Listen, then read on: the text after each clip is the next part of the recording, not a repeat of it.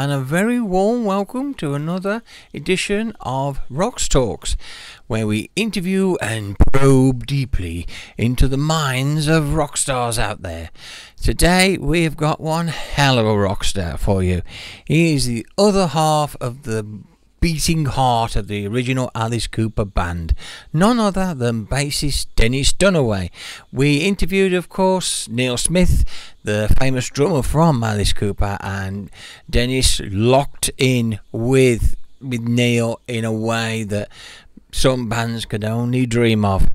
Uh, he was born on December the 9th, 1946 in Oregon, USA, and he was best known, obviously, for being the bassist in Alice Cooper, most just before Welcome to My Nightmare, um, when, of course, Alice Cooper Band became Alice Cooper, the solo artist. But that's a tale for another day, girls and boys.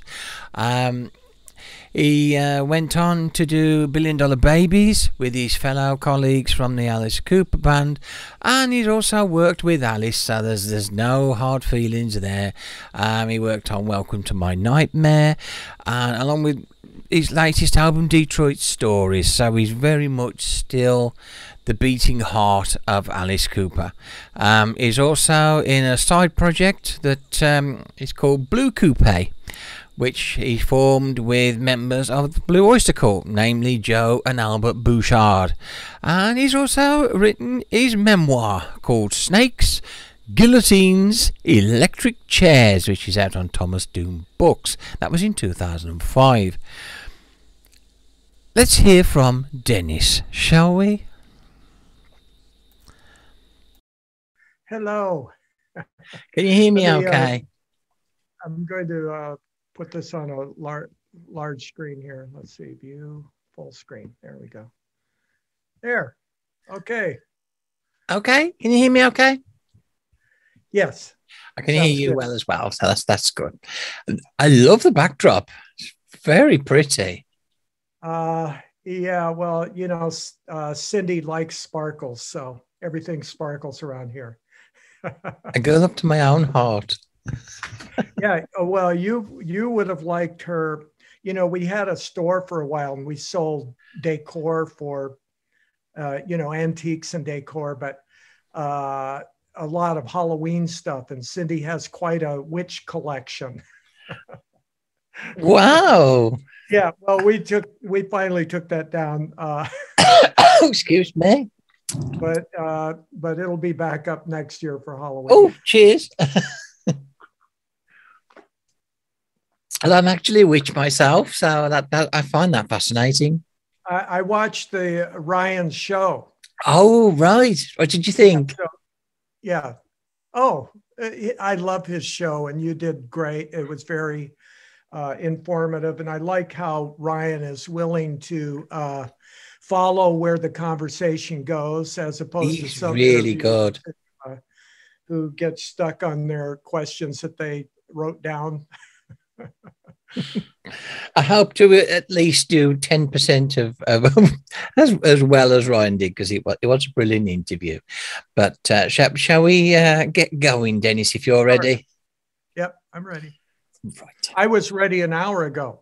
I know, I know. I typical British though. We only have one one time of year, and that's most we can't tell the difference between British summertime and and wintertime because it's raining all the time. So, well, we saw I saw a, a, cartoon yesterday that sums it up for Americans.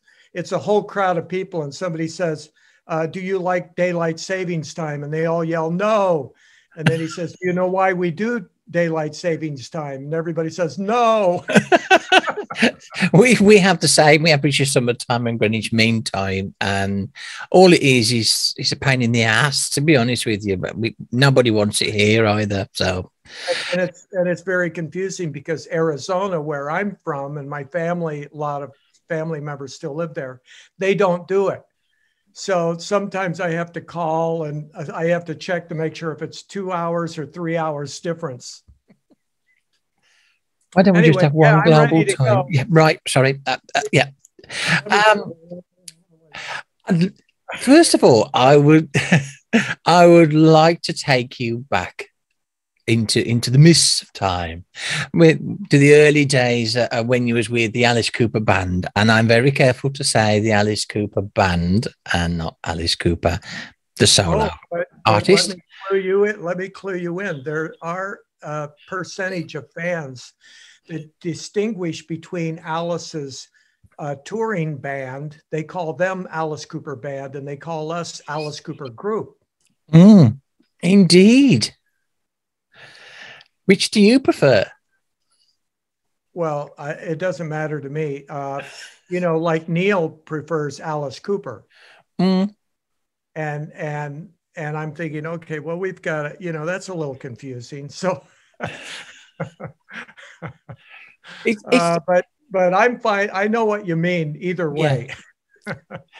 do you find that um, do you find it comforting that people can differentiate between Alice Cooper, the, the the, the modern equivalent of Alice Cooper, and the Alice Cooper band, the Alice Cooper group?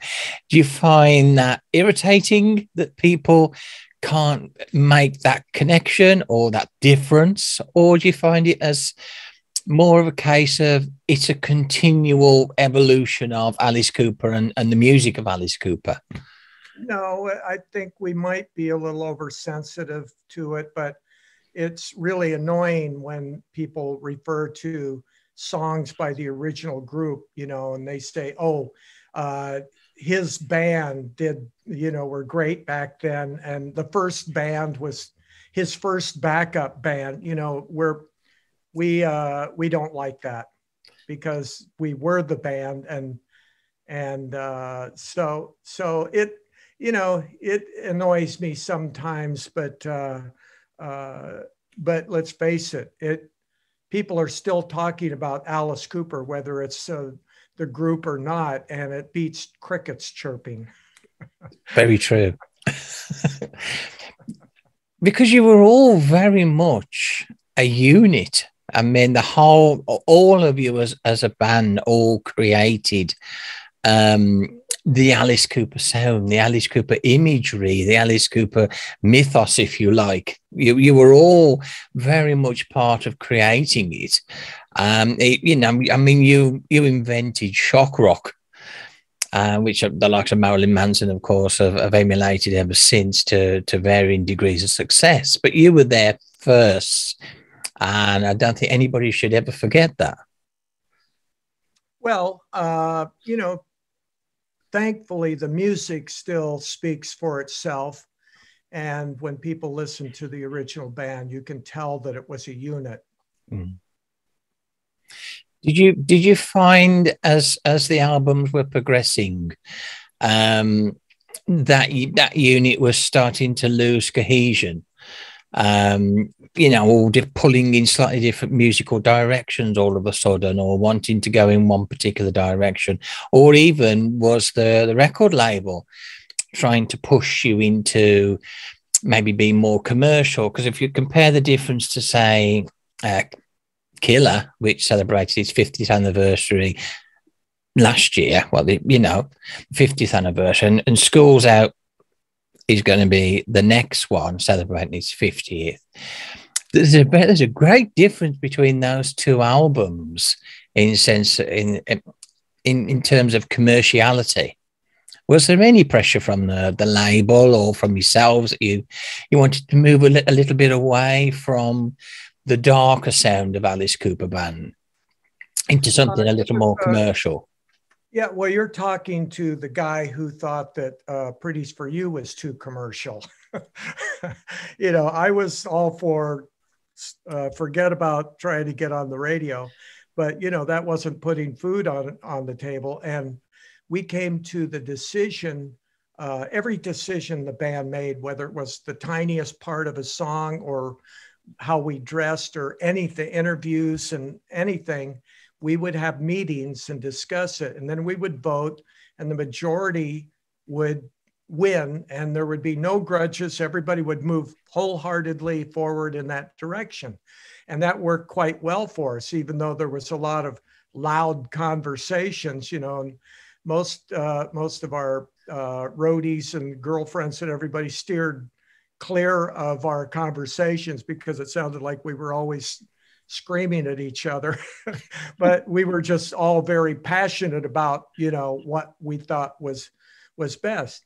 Now we came to the conclusion that all we wanted we had to get a hit single because then if we get a hit single we would be able to afford to do all of these ideas that we had over the years that we we just couldn't pull off because we didn't have any money so, uh, so we did all collectively decide if we get one single on the album, then people will hear the album, which will have songs that that uh, aren't commercial that we want them to hear that they otherwise probably wouldn't because the band wouldn't be able to survive without it. So uh, the record company was pretty much we had artistic control thanks to Joe Greenberg and Shep Gordon's uh, negotiating contracts. So it wasn't so much the record label, even though once in a while they'd show up and be in the studio looking at the clock and looking at us. Do you have a hit single yet? You know, time is money. Uh, time is money. Right, and and that's kind of more of what happens with uh, coming between the group's unity because all of a sudden with success you've got all of these people coming in and telling us what to do uh, you know where before nobody cared what we were doing.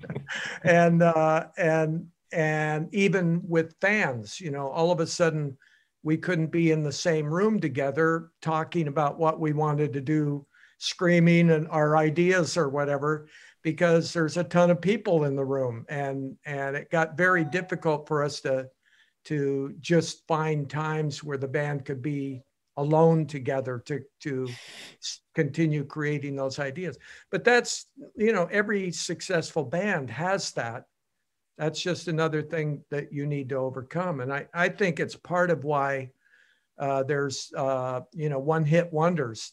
You know bands that want they they imagine being famous as being different than it actually is. Mm-hmm. and once they find out what it's really like they uh, they bail on the idea. They recoil. Do you did, did you ever i mean it sounds like you did but did you experience what can often happen in bands where almost like record labels and managements and producers tend to kind of divide and conquer and by keeping you in separate rooms it's it becomes much more easy to micromanage the band and and edge you into something that they they want you to do. Or were you very resistant to that idea? Uh, no not not really. I mean for the majority of our records i mean um, even up till through schools out was uh, the band coming up with all these ideas we wanted to do and then Bob Ezrin helping us do that, and and our management helping us do that. Uh, the management team was every bit, every bit as uh, every bit as uh, uh, creative as we were. You know, we came up with all kinds of Barnum Bailey kind of things. You know, and Shep Gordon always admired the Colonel for how he handled Elvis. So, uh, you know, they came up with all kinds of uh, great ideas to uh, get attention for the band and jump the shark. So, you know, like bands could be in a, a rock magazine. It wasn't that difficult. But to get in the everyday papers, newspapers, well, we learned from the Stones, you know, early on. Uh, how did the Stones, we first in America hear about the Stones in the regular everyday newspaper is that they pissed on a building somewhere, you know, and you're like, okay, we got to come up with ideas like that, you know. Uh, so, and and Bob Ezrin, of course, uh, was uh, uh, part of the group, and he was, and to this day, is just the most uh, enthusiastic producer anybody could ever uh, hope for. So, so it all worked together. You know, there was always push me, pull me uh, because that's how collaborations work. But it was always for, uh, uh, you know, it was always for the betterment of the of the art of the creative part of it. That's so good to hear because it's, it's it's it's somehow unique in some in some respects, certainly in, in modern era. It was very much becoming a family affair as well, wasn't it? Because you married Cindy, then Smith, and and she was she was instrumental in in the costume design. And was there ever a costume that she came up with that you just flatly went no, no? uh, no, actually, and and she's she always says this too that she was very uh, kind of surprised that everybody in the band was so willing to to do her ideas. But when we would come up with the concept for the next album, uh, you know, we wanted to hang on to the glam thing because it was working for us and it made it it made us different from other bands. Uh, so we wanted to continue that. But when we would come up with a new stage concept, Cindy would be there listening to the music as it was developing. And then she would uh, draw, make drawings, and then she'd go around to each guy one on one and and get their idea about what you know like Glen Buxton always liked a short sleeve on his on his picking hand uh, things like that where uh, you know and and pretty much it would always work out that uh, we wore whatever she came up with which which usually seemed to happen overnight, you know, because all of our deadlines were like yesterday, you know, when do you need this? Yesterday.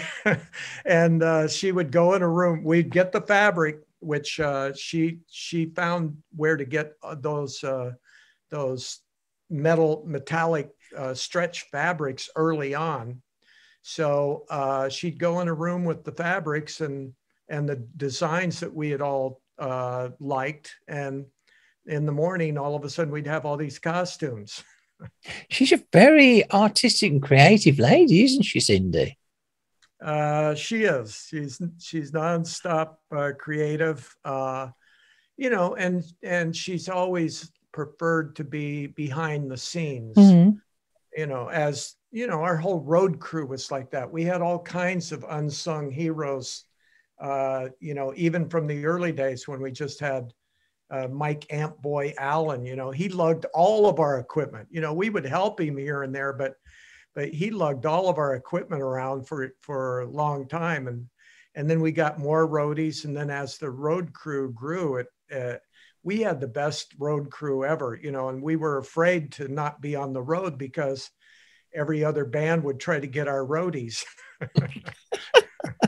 and lighting. Charlie Carnal did theatrical lighting which had a lot to do with the mysterious image of the band, uh, because the way he lit it wa- wasn't like rock is lit now, where you see all of these lights and you go, wow, look at all those lights. Mm-hmm. You weren't looking at the lights with Charlie, you were looking at the band, and he kept it uh, pretty much dark on stage to where you knew all these things were going on and you were struggling to try to see what was going on, but you couldn't see everything. You know, it, it was a it was a family. We, yeah. lived together. Uh, half the, I mean, in the early days, we all were in the same station wagon and in the same hotel. We'd have the entire band in a little hotel room with the with the cots. You know, Glen called it the toaster because they would fold up, they would fold up and they'd roll them into the room, and then we would uh, toss coins to see who got the toaster. and they're just so good for your back. Yeah, right. was Cindy instrumental in, in Alice Cooper's the sort of evolution of the eyes? Because it, initially it was very much like exaggerated um, eyelashes, more or less, wasn't it? And then it, it sort of evolved into a more structured. Was that Cindy's idea or was that Alice's? Well, when we started getting uh, uh, to the point where we could have more than one room for the band, uh, you know, we would trade off uh, who would be in the same room, you know, and and my thing was whenever I got to a hotel room, I'd go and look out the window. I, you know, just to see get my bearings kind of and uh, we were in new york city uh, and Alice and I were rooming together. And I went and I, op- I looked out the window, and across the street was the New York City Center, which is still there and looks exactly the same as it did then, even though the hotel is now a apartment building. But I looked out the window, and there was this giant, it's like seven feet tall and four feet wide of the Joffrey Ballet spring, uh, uh, you know, their season and it had this clown with this makeup. And I said, Alice, look at this. Look at this clown. If you had uh, that kind of makeup, people in the back of the room could see your expressions. You know, and Alice was, uh, he was busier trying to get a better reception on the television in the room, you know. But I waited, I kept checking out there until I saw a line at the box office. And I went down and I got in line. And when I got up to the front, I said, Can I get a, a copy of that poster? And they said, No, but they gave me a small version and they gave me uh, some handbills. And I took it back to the room and showed Alice. And we went out, uh, pooled our change. I mean, we had pocket money, no no paper money, you know. and we went, we found a, uh, drugstore and bought some uh, eyeliner and went back to the room. And Alice, I was over his shoulder. He's looking in a mirror and he's putting on the makeup, copying the poster, but varying it a bit. And I'm looking over his shoulder. And so he got finished. And I said, So, so what do you think? And he said, I don't know about stage, but for every day. and and then over the years, as it evolved, uh, it uh, those were Alice's changes when, mm. when it went to more of the raccoon thing and and that. It's just so iconic, isn't it? You see that look, and it's Alice Cooper. You know, pe- right. people do variants of it in, over the years, but we all know it came from Alice Cooper. But anyway, enough of Alice Cooper. Let's talk about Dennis Dunaway. What makes Dennis Dunaway happy? Well, I grew up uh, being uh, very introverted.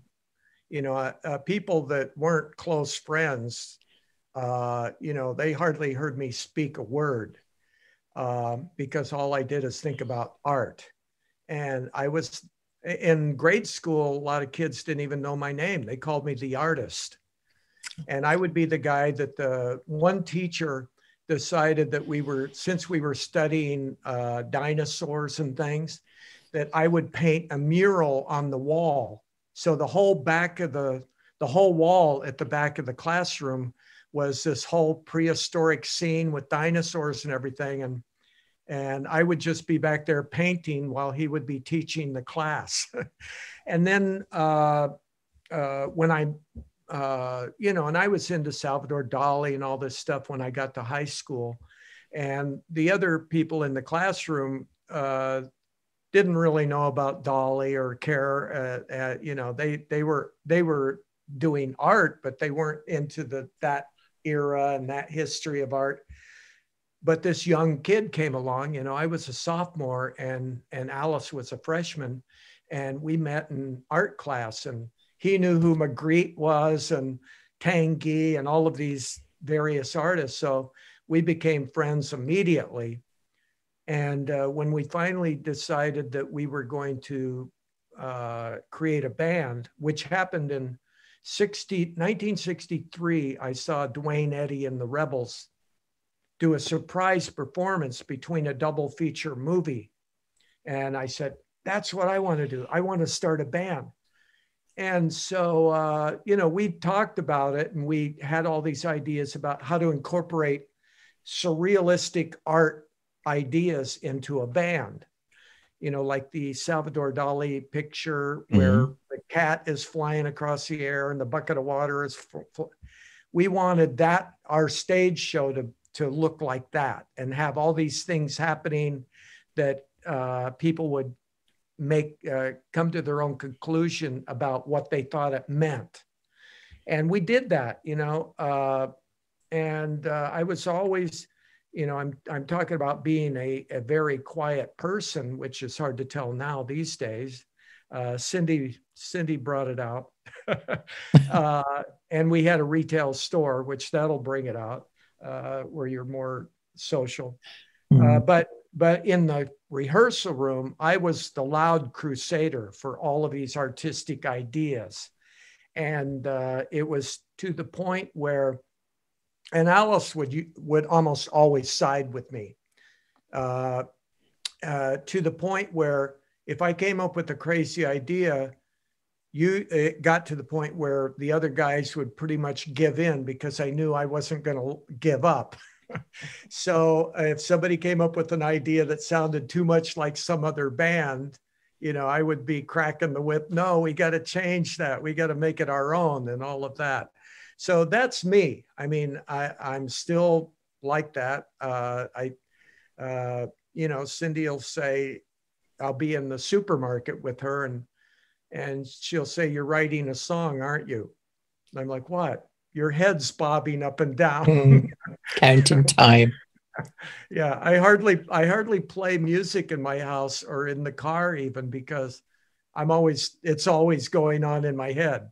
I'm always writing songs or thinking of uh, different ideas, uh, and I write them down. You know, uh, I used to write them down on little, you know, notepads that would come with the hotel. And so I have tons of those from the Gorham Hotel, from uh, hotels all, all across the country. And it'll just have an idea like, uh, uh, I don't know what, uh, have a, have a shelf, put a shelf sideways on the wall in case there's an earthquake so that the books will be you can put them right side up when the house is on its side, you know, crazy stuff like that. and uh, a lot of those ideas ended up becoming lyrics to songs like Killer and uh, oh, many, many of the early Alice Cooper songs. Alice would always have all of these notebooks and all these pieces of paper that I just scribbled ideas on. And then he would just look through them when we were when we were playing the musical part of a song in uh, its progress in the writing uh, process. And and then Alice would just be looking through my notebooks, and then all of a sudden, bingo! He, you knew he had an idea if he set his can of beer down, you know. Mm-hmm. And then he'd stand up, and all of a sudden he'd start writing as fast as he could, and then, uh, uh, you know, but but those uh, that combined with everybody else's input. The chemistry was wasn't just me.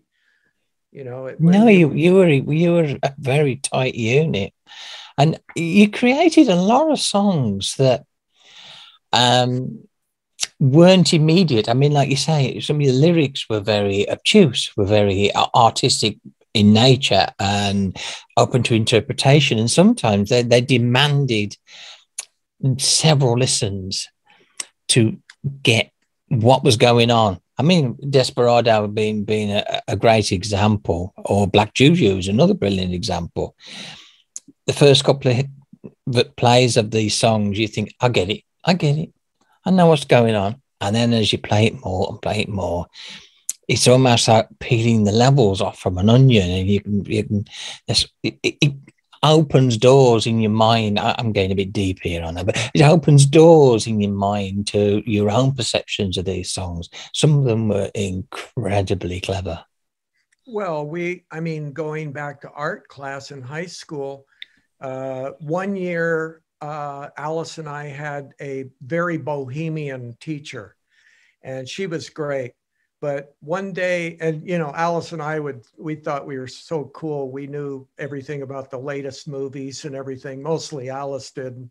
And then he would share it with me. So we thought we were really cool and on top of everything. And one day she came to us and said, You guys really think you're hip, don't you? I want you to show up after school and come to the class. And we're like, Uh oh, what did we do this time? And we showed up and she had, uh, Bob Dylan album, uh, Freewheelin' Bob Dylan. And she had gotten a little phonograph record player from the library, and she had us sit down and listen to that whole album. And we had never heard anything like it. But those Bob Dylan lyrics were a big influence on us. The Beatles were a big influence on us. And then the British invasion just blew the doors open. You know, the all of those bands, the the Who, the Pretty Things, the Kinks, you name it. You know, uh, we we were, you know, when when the British invasion hit in Phoenix, Arizona, the top ten singles on the radio were all Beatles. The top ten, all you heard was Beatles, and uh, it and all of a sudden overnight, if you weren't British, nobody cared about you, you know. So so you had bands like the Byrds and you had uh, British-looking American bands popping up here and there, and uh, you know we were all in. We you know we we were hook, line, and sinker. British invasion. I don't know whether to to apologise or, or say you're welcome, depending on your point of view, I suppose. Um, when the Alice Cooper bands, you know, I'm not going to say broke apart because you've never really broken apart when when you paused. It's probably a better way of putting it. And you, you formed Billion Dollar Babies, didn't you, to sort of carry on? How, how did that? How did you feel about that? About about doing the Billion Dollar Babies um, album? Well, uh, we were following our, like I said before, we would have meetings and the majority would win, and and uh, that was that was maybe the first thing that we ever did where uh, we didn't do what we had all agreed upon, which was to take a break so Michael could record his album and then get and then do the next uh, Alice Cooper album. Uh, you know, Neal recorded Platinum God and I helped him, but that was mostly just so we could stay in shape and keep playing. Uh, Neal didn't even release that album for decades after. No, he didn't. No. We were uh, when Billion Dollar Baby started, that was intended to be the next Alice Cooper album and show. We had this gigantic stage and sunk a ton of money into it with uh, these hydraulics and uh, this boxing ring that would come out from underneath the uh, drum riser and and we were we were got, we were full tilt into doing the next album uh, Alice Cooper album and show. But all of a sudden our communication with the singer was and management and record company seemed mm-hmm. to be uh, faulty. So uh, you know meanwhile we're doing out of pocket expecting the record absolutely. versus you know. Uh, so you know it was uh, uh, it was a dark era really. We had so so many distractions with legal things showing up in our mailbox and we're trying to work on this album. We're trying to get alice to uh, uh, show up and and this and that. And as it started and you know for me being you could say i'm naive but and be right but uh but i couldn't believe that uh you know alice and shep would be doing this to us because we were all best friends best best of friends mm-hmm. and uh, uh, so i was in denial uh, until it got to a point where uh, uh, it became financially and emotionally devastating really i ended up in a dark room in a rocking chair pouting you know and cindy cindy would come in and say uh, come on, you got to get it together. You know, you're being stupid and all this. well, you still got so much musical creativity of your own. It would, it would have been a crying shame for you not not to carry on as a musician because you can't be that. But but you have still sort of stayed within the Alice Cooper ecosystem, if you like, because you, you worked on Welcome to My Nightmare, and which I don't know whether I saw that felt because it was Welcome to My Nightmare, the original that marked that that that chain of events. But you've also worked on Alice's latest album, haven't you, Detroit Stories? Uh, yeah, and Neal and I re-recorded "Schools Out" for the, mm-hmm. the Hollywood Vampires. That was interesting because the guy who ran the studio in New York City, his name is escaping me at the moment, but okay, so Neal and I re recorded Schools Out decades later. And the guy who ran the studio in New York City, his father is the one who booked us into the record plant for the first time we recorded uh, Schools Out.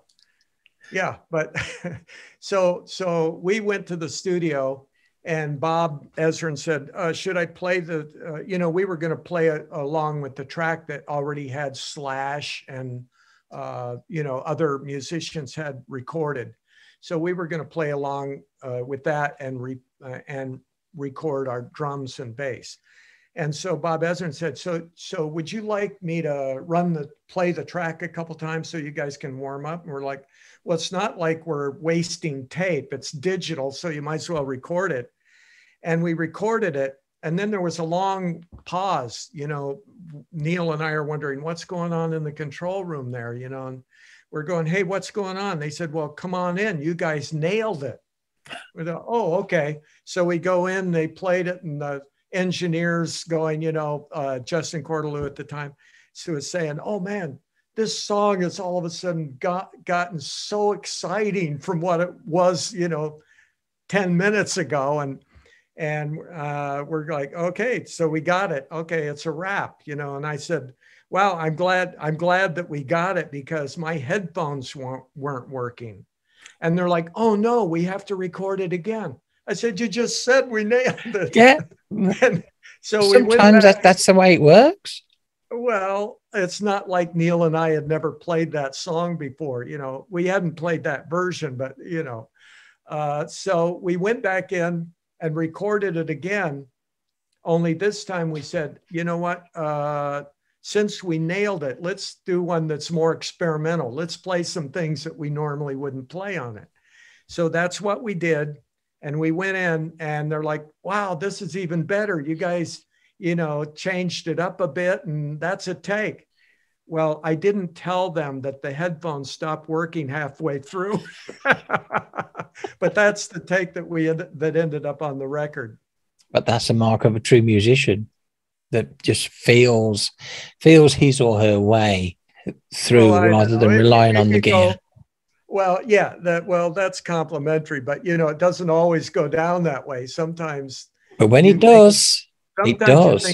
easy song. Well, you play guitar, you know uh, you you know sometimes you think that uh, uh, oh this song we're going to knock this out in a hurry when we get to the studio and then all all of a sudden wait a minute you're playing a major scale against a minor chord and blah blah blah and and wait a minute the bass drum is doing this and you know uh, these things that you can only hear when you get under that microscope of perfect sound in the studio you know so sometimes the simple song turns out to be pulling teeth.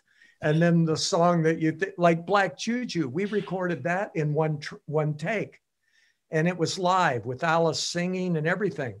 And then Michael Bruce said, "Wait a minute, I played a dissonant organ note that I don't like," and uh, so we re-recorded it again. And then we decided that we liked the dissonant organ part, so we ended. Yeah, it just throws you off. First. Yeah, yeah, I think Halo it would have sounded differently. Yeah, Halo of Flies actually went down very smoothly. Uh, we, we, recorded that in Chicago. Uh, and uh, so Bob Ezrin got this idea okay, we're, we're going to record the song up until it gets to the, you know, everybody calls it a drum solo, but it's a, a duet because the mm. bass is still playing. Uh, but so when we got to that part, we just had Michael counting one, two, three. So counting a certain amount of bars, and then the band would come back in. So the drum solo part wasn't there. And then when we when we got uh, when we nailed the track, which I think probably took maybe two or three times, then we ran cords downstairs in this corporate building that now it was late at night and it was closed with only a night watchman in the lobby. But we went down there because the men's room in the lobby was all tiles. And and when yeah. uh, one of us had been in there, you know, clapped our hands and said, Hey, this is great echo chamber, you know. So we set up Neal's drums in the men's room and then he recorded that part. But the night watchman, here, here comes all these long-haired weirdos with carrying drums as fast as we can, you know, and going in the men's room, and the guy's scratching his head. What the heck's going on here? it's all rock and roll, baby. It's all rock and roll. Yeah, that's right. Did, were you surprised how long it took Alice Cooper to be inducted into the Rock and Roll Hall of Fame? I mean, it was 2011 before it was finally inducted, or is that, or you are, do you share the view of some musicians where you just don't give a shit, basically? Well, you know, uh, Jan Wenner was head of Rolling Stone, and Rolling Stone didn't like us. And then he was the head of the Rock and Roll Hall of Fame uh, in uh, committee in New York City. Mm. And, uh, you know, people think that uh, that had something to do with it. But uh, the way I look at it is, you know, uh, every year you've got all kinds of fans of various bands, you know. Hey, how come the Bay City Rollers aren't in? How come Rush isn't in? How come this? You know, and the way uh, the way I look at it is if everybody that deserves to be in was uh, inducted tomorrow, what are they going to do? You know, then they have to wait for some other artists to ripen to the point where they deserve to be in. Uh, and, uh, and so um, it was a shame uh, to all of us. We will always be very disappointed that Glen Buxton wasn't still around because that's kind of where I, I was going. Is, all I can do is imagine the most outrageous acceptance speech in the world that we can only take wild guesses at because Glenn just came up with them all the time. And, and at the end of the day, you tried to remember all of his uh, wisecracks and, and you couldn't because there were too many of them. Uh, but uh, you know, but but I am very happy that they inducted the band. You know, it could have been it could have been uh, Alice uh, as an individual, mm-hmm. and it may still be. You know, that may still happen. Well, yeah, I mean, he's carried on creatively for so many years as as Alice Cooper, the solo artist. So he'd be he'd be more than entitled to, same as Stevie Nicks. You know, she was inducted as Stevie Nicks and and with Fleetwood Mac, so it could happen. Um, I think Clapton is in three times, but see, yes, yeah. Inducted, I have a vote, so I could vote for Alice, and I could use that. I could make Alice be extra nice to me mm. for a hmm. while. Mm. Yes. and then call that debt in in true mafioso style. Let's talk a bit about Blue Coupe because I am very intrigued by a union between yourself and members of Blue Oyster Cult, who are another rock legendary band, who also sort of um, had that theatrics had that dark edge and and and encouraged people to believe they were into the occult and and all the rest of it so tell us about blue coupe because i'd love to hear about it yeah well it's interesting because in europe everybody calls us blue coupe but in hmm. america mm. it's pronounced coupe blue coupe Oh, yeah. so is it coupe as in coup, as we would call it, or coupe, uh, as in the car? As in, in, as in a car. Ah, coupe right. as in a car. Yeah, uh, but uh, but we like both ways. Coupe makes it sound smarter, I think. it's fancier. Yeah, it's more like you put your finger up when you drink your tea. If it's coupe. Oh, oh yes, when you're having your Grey Poupon yeah. uh, but uh, Joe and Albert became friends in 1972. Alice Cooper had just gotten to the point where we were headliners. And we played this outdoor festival on a beautiful day in North Carolina. And uh, Dr. John was opening for us. And then a few uh, gigs in, he starts using a snake.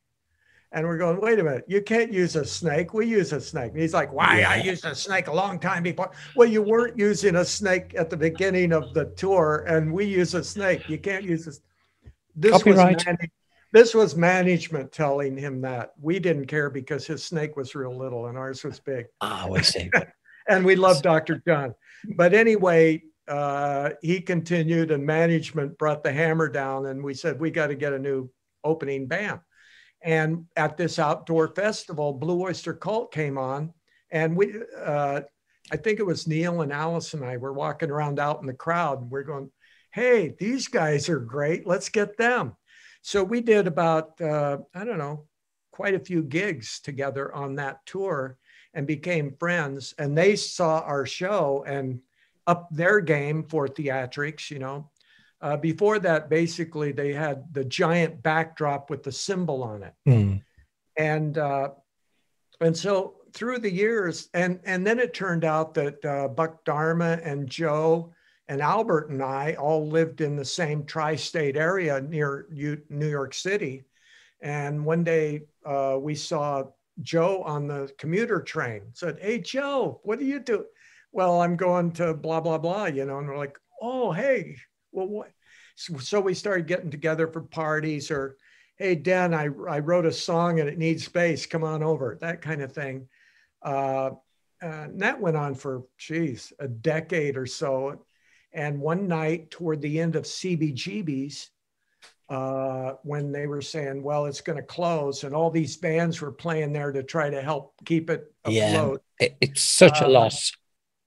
Yeah, well, we, well, uh, we were there not the final weekend, but the weekend before that, and uh, musicians were jumping up and jamming and this and that, and and I ended up on stage with uh, Joe and Albert. And they had not been uh, uh, working together.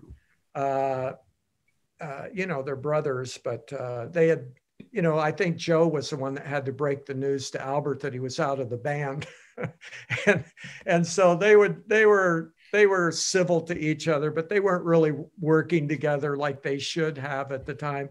Anyway, this guy was in the audience and said, "Hey, I want to hire you guys to play at my my club up in the Poconos, I think it was. And uh, we're like, well, we're not really a band. And he kept offering more and more money until we said, okay, we'll do it. we ended up at this club with that was packed. It had a balcony and the place was packed and they were going crazy. And we hadn't even really rehearsed. We were kind of winging it, not kind of, we were definitely winging it. And uh, but we had kind of decided on a set of songs that we all knew.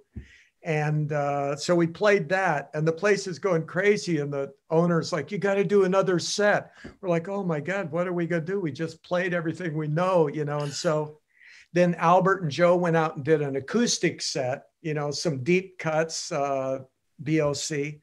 And then, uh, and then we came out and I said, Joe, uh, the oh, and then the owner offered us more money to do a third set. We're like, oh my god, what? and so, so I said, Joe, as long as I can see your chord hand, I'll follow along. And I was playing songs that I'd never not not only never played before, but I'd never even heard before. and the audience is going nuts and i'm going i have a feeling there's must be a hundred bass players in the audience that knows the bass parts that I'm butchering right now, but they like it anyway. So afterwards we said, you know, we had so much fun. Let's let's uh, let's do more gigs together. And then uh, when we started thinking of names for the band, we said uh, we had a million crazy names, you know. And finally, as a joke, I said, "How about Blue Oyster Cul- uh, Blue Oyster Cooper?" and everybody laughed. And then I said, wait a minute, maybe we can, you know, blue coupe, let's shorten that blue mm-hmm. coupe. We'll make it a car. So it's blue from Blue Oyster Cult and coupe from, from Cooper, right? Um, which hardly anybody ever gets, but that's, that's what we were thinking. And uh, Joe and Albert are the most prolific uh, musicians you know, uh, Albert's got a million things going on. Joe's got a million things going on. Solo records, working with various people, uh, all kinds of stuff going on, and uh, and they're and they they're both retired now. But for most of Blue Coupe's, uh, we're, we're going on 13 years now together, or 12, uh, 12 years at least. Uh, they were mu- they were both teachers teaching music. So here now, after the school's out guy, who's the guy in the back of the class that can't think of a word that rhymes, I'm in a band with two teachers. uh, anyway, uh, it's great. We've done a lot of gigs, a lot of opera houses around the world. Jersey Opera House, which is an English channel, as you know, mm. uh, beautiful opera house there. Uh, we play a lot of gigs in France and Canada, upstate New York. Uh, we will be doing headlining a festival in upstate New York this summer because uh, Joe and Albert came from the Thousand Islands area up near Canada and, and the top of New York State. And they are legendary there. Uh, they call it Thousand Islands, and I joke that it's Thousand Bouchards because that's who shows up at our gigs. and and uh, uh, we've we have a lot of fun. It's interesting though, wherever we go, there's seems to be a pretty much 50-50 split of BOC fans that show up and Alice Cooper fans that show up. So they're calling out deep cuts and stuff, you know, and we're uh, we're trying to accommodate uh, whoever we can for request. But um, uh, you know, there is that thing, and I've learned a lot about Blue Oyster Cult since then. You know, uh, uh, long drives in the car with Joe and Albert stereo, telling stories stereo, which they both have different versions, like the cowbell thing. They both have a different version and this, this and that. But there is this thing of uh, Blue Oyster Cult fans dig deep into the lyrics, mm. and there's the running theme of all of these things that Sandy Pearlman uh, helped heavily in inventing for the band and you got to hear the next Blue Oyster Cult song because it's going to have more clues as to oh. the history of the world being uh, uh, changed or directed by aliens and things like that. Ooh. And yeah, there's there's a whole it, it is it's like a cult of fans that have this knowledge. Very much so. Very much so. BOC fans are are I think they appreciate the depth same as they appreciate a lot of Alice Cooper songs. They appreciate the the multi layers and the, the, the artistic depth there. I mean, don't forget that then there are the throwaway ones, you know. But even them eh, songs like Godzilla, you know, it, it's it seems like it's just a funny, stupid little pop song, pop rock song, and then you think, well, yeah, but what did Godzilla symbolize? particularly to the Japanese. And you do wonder what was going on in their heads when they. But I, I noticed because I've been watching the YouTube videos of a lot of the gigs that you guys have done together, and you seem to enjoy yourself so much together. And Alice Cooper songs and BOC songs seem to meld together so well. There's no jarring of the two musical styles at all. Well, they are distinctively different. Mm-hmm. Uh, uh, a lot of BOC songs have tricky part, tricky counts that are difficult to learn. you know, you think, oh yeah, I know that song, and you start playing, you go, what the heck, you know? And, Been there. Uh, yeah, and uh, yeah, right. Uh, you know, and um, like say for instance in "Don't Fear the Reaper," which is one of the greatest rock songs ever you know, uh, it's so infectious. As soon as you hear the opening notes, you're you're you're you happy. Yeah. You're happy. Uh, and uh, but when it comes to that middle part where the do do do do do do do the mm-hmm. guitar is going on its own, and then the band comes in, bomb bomb bomb. That is the weirdest count. I can't count it without looking at Albert. you, you, always you always tend to come. I mean, when when I, I sort of play, I always tend to either come in too soon or too late. I just exactly yeah, and that and that's exactly where it comes in. Mm, yeah, and, and if I and if I ask and and I've seen I've stood on stage waiting while Joe and Albert argue about how to count that. They both count it differently, but it but it comes out the same, you know. And I'm like, I don't care. I'm going to look at Albert, and when he hits the drums, I'm going to come in, you know. but uh, we we do have fun. Fun is, uh, uh, you know, we we uh, we're we're not afraid to jump in the car down in the trenches and drive, you know, uh, long distances and play. And we we did this gig in Ohio. Uh, which uh, we had three GPSs and they all told us we were there and all we could see is cornfields you know like and and we drive off one direction and that that gps would tell us to go back to that same place all of it all of our gps's agreed that we were there and there was nothing there and finally we found we drove up one road and kept driving and all of a sudden there's one little place there and like I wonder if that's it. That turned out to be the play, the venue. and uh, you know, and we played this gig, and it was packed. You know, and uh, uh, you know, and then uh, we we would play. We played at the Rock and Roll Hall of Fame a couple of times. Uh, we played uh, some. The Clayton Opera House in upstate New York is a very old opera house that they restored to its original, even the wallpaper had been replicated. And, uh, uh, and the stage is at a, a pretty severe angle out toward the audience. And it's weird mm-hmm. because you have to be careful because when you, you hurry up to get to the microphone to sing your part in time, you're likely to bump your lips on the microphone because you're going downhill. And sometimes you have to be careful. You're afraid you're going to go off the front of the yeah. stage. Okay, why is the floor angled like that? Because it was big in the uh, the days of soft shoe routines. Ah. And and there were footlights at the front of the stage, you know, and and so the audience could see the the dancers' feet. Yeah, that's why it's saying. Yeah, yeah it makes sense when, when somebody explains it. You well, does make sense. a lot of sense. But, but, when you're in the audience, you don't really pick up on that. All you know mm-hmm. is that you can see everything really well for some reason. Uh, anyway, we uh, we played all kinds of places. We played. We even played like a like some kind of a a smoothie place. You know that you can go in and get a smoothie. Yeah. Uh, you know, or orange juice or something in Times Square. and it's a store that's open and people are coming in to get smoothies and Blue Cooper over here in the front window playing a set.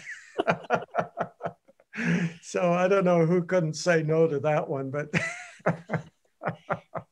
tell us about your your autobiography. Um,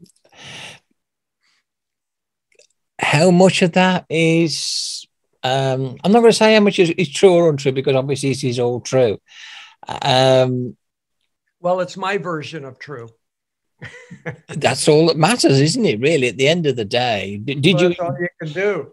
Yeah. Did you enjoy having that experience of reliving it all? And, and... Uh, you know, it was a lot different than I anticipated. It it took me longer to write that book than the actual amount of time the original band was together. By the time I got a, a decent book deal, uh, a very good book deal actually. Um, but uh, it, I thought, okay, we have so many friends that I can just ask them about this, and I'll get that information. I can ask them about that, and that did not turn out to be true at all because I was asking friends and they would be telling me their version of it, which radically varied from what I knew to be mm-hmm. true. Uh, you know, and then I'd get people that would send me handwritten, like two pages of a spaghetti dinner that they cooked for the band. And I'm like, well, this isn't really what we're looking for, you know. uh, but uh, the other thing is, uh, all of a sudden, uh, to go back there, first of all, as a writer, to go back there, you really have to have no distractions. If the phone rings and you're, and even if it's a spam call that you don't answer, you're trying to go back again, you know, and, and uh, a lot of deep kind of meditative thought to try to recreate it uh, in your mind. And uh, uh, all of a sudden you start realizing certain things that you didn't realize, like, wait a minute, we're okay, I'm doing that. I wrote about that show, I wrote about that show, I wrote about that show, and I'm writing about this show. And wait a minute, Neal Smith was on LSD at every one of those shows. I didn't realize Neal was the the you know no wonder he was jumping off the the, the speakers and everything. uh, you know, so certain things like that, all of a sudden, and even for myself, you know, all of a sudden you realize, hey, wait a minute, you know, here's a pattern here that I didn't fully realize uh, uh, until now that I'm actually analyzing it and researching it. Uh, you know, but um, and then of course I've got people that remember it completely different than me, and they swear by their memory. So I I didn't fully I I anticipated that a little bit, but the interesting thing is some of those people I hear talking in more recent uh, years uh, since my book came out. And all of a sudden, their story is starting to match mine more and more every time I hear them talk. that that is the beauty of biographies, though. I think that's what that's what people find so fascinating about biographies and autobiographies is that you get all the different views, all the different memories, and then it's up to the reader to kind of piece together that history uh, as best as you can because memory is is by its very nature quite faulty at times. I should say that the, the, it's, called snakes, guillotines, and electric chairs, all with ex, um, exclamation marks. Appropriate title indeed. Yeah, and uh, uh, the uh, the editor is the one that came up with the title. I thought it was too long, and I'm thinking, well, no. you're an editor and you're going to use that many exclamation marks, you know. but but uh, it grew on me. But when I first heard it, it was hard for me to even remember the title of my own book, you know, for a couple of days. uh, but um, the and the book cover I was very happy with because we I had the idea. Okay, I want it to jump off the shelf and I want it to be a bit controversial, but I want it to be controversial in a fun way. Mm. So, how do you do that? This young kid came up with that design in just a couple of days because the again the deadline was like yesterday, and uh, and I thought this is perfect. You know, if it had real panties, it would have had a different feel.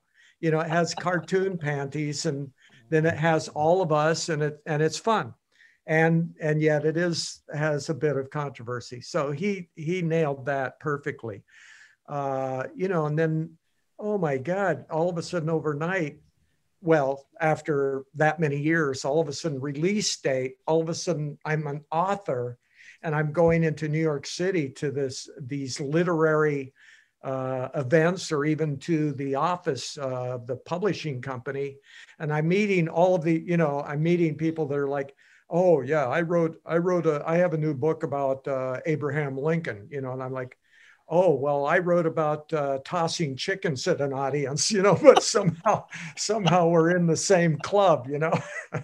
Uh, it, and and the thing is that because digital has not uh, affected books to the mm-hmm. extent that it did music uh, people still like to have a book a paper they book do yes that the excitement was still there for Cindy and I to be in that exciting mix that the offices felt like the offices used to feel at Warner Brothers and, mm. and that with all kinds of people coming and going and all kinds of interesting conversations. And then we get out on the road and uh, doing book tours. Uh, and all of a sudden there's all of these fans, you know, and it's you know, it's a feel good thing, even though Cindy and I are sitting at a table usually. and one by one somebody will come up and they'll start with their story of yeah i saw you guys in 72 i had a dodge charger. It was purple and four on the floor. And my friend blah blah blah and blah blah and name everybody in the car and even tell us the road that they took to get to the concert. And then when it gets to the concert the story gets blurry because the drugs kicked in, I guess. and uh, uh, and then the next person, it's almost like the same story over and over and over. Yeah.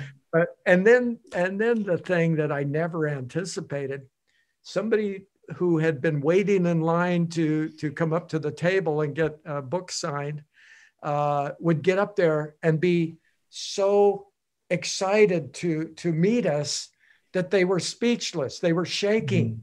you know, and that happened a few times, you know, and Cindy and I kick in, you know, we, we, know, we feel that we know how to make people feel comfortable, you know, yeah. and, and, kind of talk them down. uh, but uh, I did not anticipate that, you know. Has it given you the writing writing bug? Do you want? Do you, is there another book in you somewhere? No, the whole time. Uh, well, I thought, oh my God, the book's finally out. I can stop typing. I typed the whole thing with my index fingers, by the way. uh, and uh, even though I, in high school, I learned to type properly, I just found, I don't know. Uh, uh, it, the whole time after the book came out, all of a sudden, I'm still typing all of these emails, all these interviews, all of this and that. And all of a sudden, even musicians weren't getting together anymore. And you're trying to write songs by typing. And the whole time, my bass is going, Hey, what about me? what about me? Hey, aren't you a musician or what? and uh, now, you know, the bass is happy. You know, I'm not typing as much, or I've become faster and more. Uh, uh, you know, I type less uh, and get the get the job done. Uh, and uh, I'm deep into songwriting. I'm deep into playing again, and got my chops all you know cooking, and my calluses all built up and everything. And uh, that's what I really do. You know, the arts all you know from from art, I didn't want to give up art when the band started taking taking off. I left uh, studying art in college in Arizona to deciding, okay, I'm going to give up art for music. No, I'm going to incorporate art into music. And and there's it's interesting how many uh, things correlate when you're composing an abstract painting or composing a song. There's there's certain things that happen similarly. And when you're write, writing a book, so all of the creative things uh, seem to work together, but still, you know, crank up the crank up the amp and play loud. You know,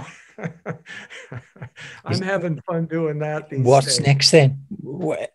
Uh, well, Blue Coupe, uh, yeah, I've got kind of an exclusive for you here. Blue Ooh, Coupe, go do tell. A DVD, a DVD with uh, uh, we've got uh, several music videos that we've done over the years.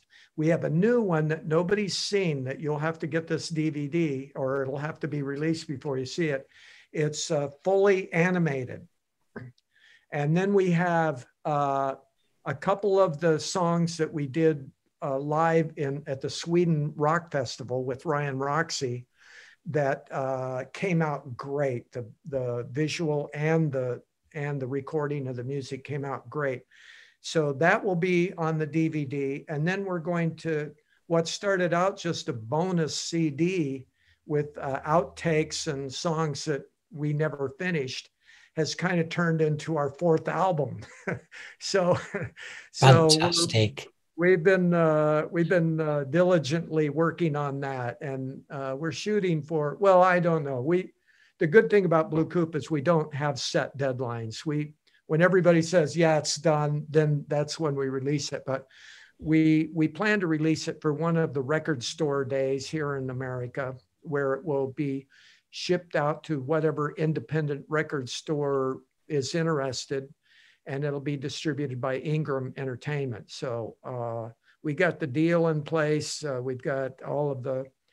Uh, they're mixing the songs right now. We've got like a a, a really good uh, mixer working on each song, and some of the songs, you know, that seem like, well, this isn't ready to put on anything, and then Joe and Albert and I start adding things, and next thing you know, what you know what this is this sounds like an album. It doesn't sound like a demo anymore. So, so we've been doing that. We have a song, uh, you know, Tish, Tish and Snooky of Manic Panic are our background singers, the Bellomo sisters, and uh, they're great. And uh, they sing on all kinds of stuff. Most most every song on a Blue Coupe album is Tish and Snooky singing background with us and they do a lot of live gigs with us, even though they're extremely busy with Manic Panic, their hair dye company, which is worldwide mega mm-hmm. famous.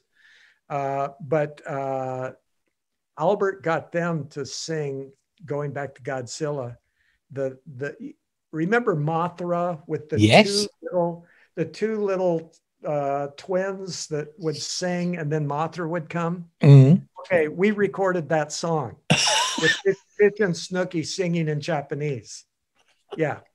Uh, so uh, so it's got some quite a quite a variety of songs. I can't wait uh, to hear it.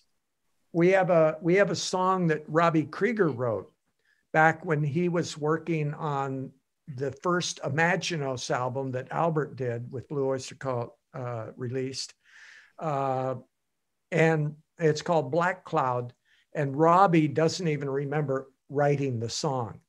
But you know, we were we just uh, laid it down one day uh, when we were kind of uh, all together in a room, Joe and Albert and I, and we're saying, well, let's try this song. What do you got?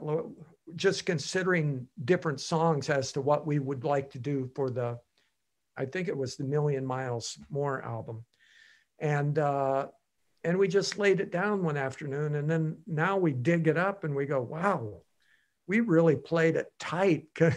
You know we didn't we didn't even really rehearse it you know? And uh, that's come together really nicely um, so uh, you know the wheels are turning. We have we we will be headlining the festival in on uh, july 16th in uh, Sackets Harbor, upstate New York, which is right where the St. Lawrence River enters the Great Lakes. And, uh, uh, you know, and, and it'll be a thousand Bouchards in the audience and lots of other people. I mean, it's funny because sometimes people come up to talk to me up there and they talk to me like like they they're uh, in awe of me because I know the Bouchard brothers. and you're like, "Hello, Alice Cooper. Hello." Yeah, what are they really like? Which is great. Uh, we have we do have a lot of fun, and you know, so we've that's got, what matters. Yeah, we've always got things on the radar. You know, uh, Joe plays horn and he does these gigs where he plays trumpet. Albert is in a glee club. They sang at uh, last uh, baseball season. They sang at uh, open uh, during uh, opening a Mets game. Yeah, in in uh, you know what used to be Shea Stadium in New York City, and you know, and then he's working with the Dictators, and he's working with Robert Gordon and uh, same with Joe. You know, when, whenever I ask him, hey, what have you guys been up to? You get exhausted just hearing the list. they are very busy, those guys, and uh, great to work with. If there's one piece of advice you could give to anybody just starting out in a band, what would it be, Dennis? Uh, you know, some kids came up and kids came up to me one time and said, "Hey, you know, we want we've got a band. You know, uh, what would you, what advice would you give us?" And I said, "Well, well, we threw chickens at the audience. You're going to have to come up with your own thing." Uh, my real advice, though, would be uh, like everybody says, it's so true, though, be yourself. You know, if you play something and somebody says, well, that's not how you're supposed to play it, in my opinion, you're on the right track because if you follow all of the rules, how are you going to be different? Absolutely. It's impossible to be different if you do everything the way everybody thinks it should be done. Uh, certain advice, you know, if somebody gives you advice and you can apply that in a good way to what you want to do, then take the advice. But otherwise, throw it out the window because uh, all that matters is, is that you're doing what what you like to do. You know, even I mean, if if you want to be in a wedding band and you're happy doing that, great. You know, it's I have no problem with that. Uh, uh, okay, another bit of advice. If you're thinking, I don't have time to rehearse today, uh, and my bass is sitting here saying, Well, hey, I, what do you think I've been telling you all these years? You've been writing a book. Uh, if you don't have think you don't have time to rehearse today, just say, okay, I'm going to sit down for five minutes. Because most of the time, mentally, you're thinking in terms of, oh, I don't have a half hour or I don't have three hours, whatever it is you usually rehearse. Well, sit down for five minutes and I guarantee you it'll turn into a half hour. Always does. But it, but if you're thinking I'll give it five minutes, then uh, you're more likely. All you have to do is pick up the instrument and and uh, and it's a good thing. Before I say say good, goodbye for now, Dennis, is is there anything you'd like to say to your your myriad of fans out there? Oh well, you know, uh, it's my my uh, daily life is filled with gratitude.